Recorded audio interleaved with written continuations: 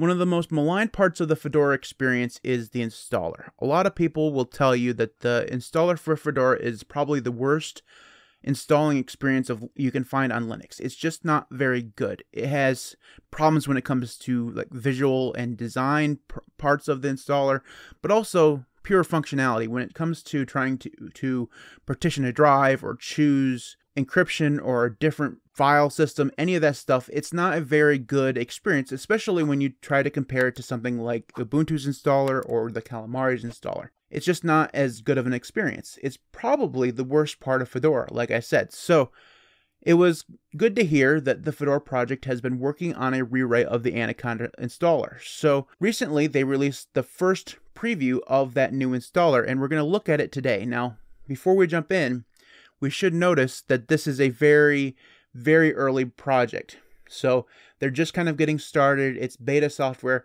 It does work surprisingly well, but they don't recommend you use this on a production machine. So I just wanted to warn you before you go and try to install this on your own that this is meant for beta testing. So let's go ahead and take a look at this installer.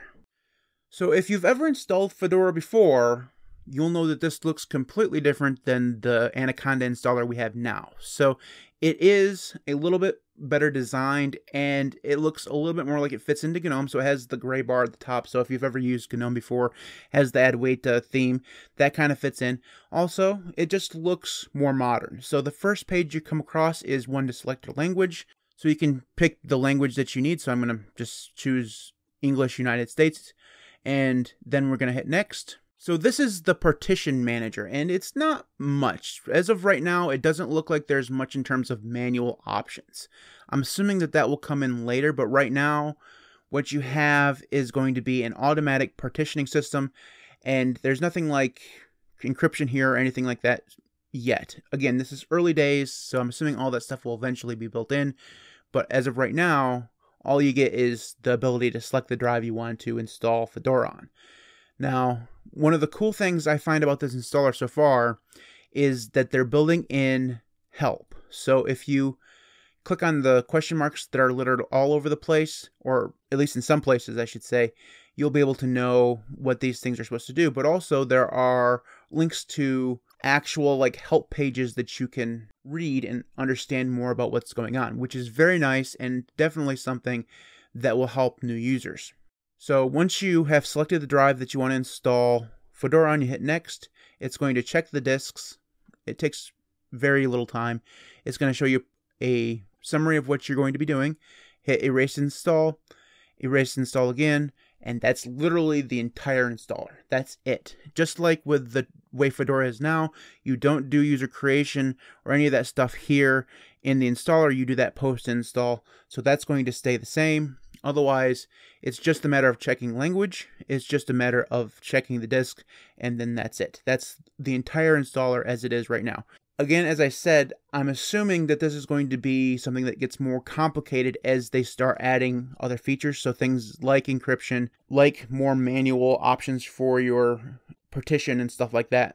But as of right now, the UI is very, very simple.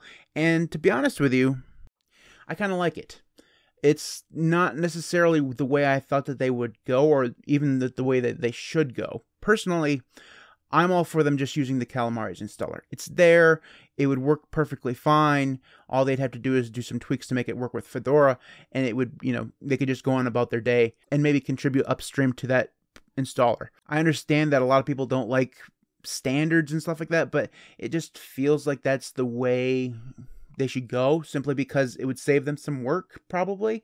And it's also a very good installer. You don't have to start from the ground up. But that's the but that's not the way they've chosen to go. So they've decided to build their own and that's perfectly fine. It works really well. For being beta software it works which is good I would say that there's still quite a few features that they need to add. Like I said, encryption and the ability to manually partition.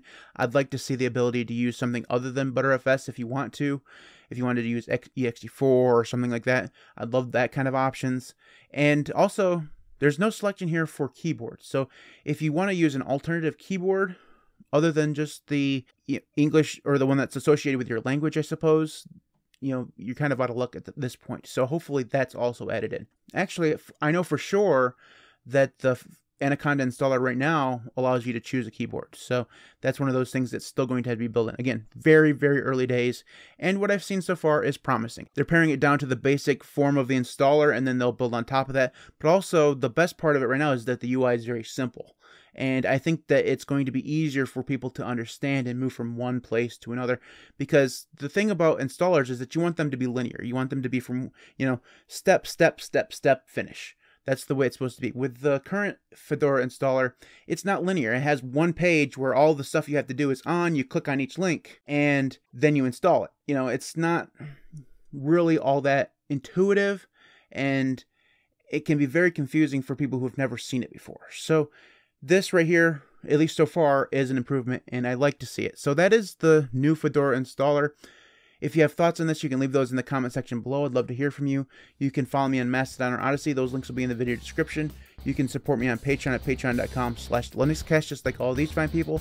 Thanks to everybody who does support me on Patreon and YouTube. You guys are all absolutely amazing. Without you, the channel just would not be anywhere near where it is right now. So thank you so very, very much. I truly do appreciate it. Thanks everybody for watching. I'll see you next time.